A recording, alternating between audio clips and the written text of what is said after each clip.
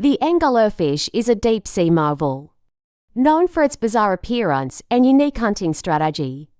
Found in the pitch black depths of the ocean, these creatures possess a bioluminescent lure atop their heads, which they dangle to attract prey. The female, much larger than the male, is characterized by a fang like protrusion from her jaw upon mating.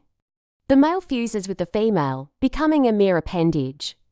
This extraordinary adaptation enables them to thrive in the extreme conditions of the abyssal zone. Anglerfish are typically dark brown to black, with bioluminescent lures emitting a soft blue or green light to attract prey. In their deep sea habitats,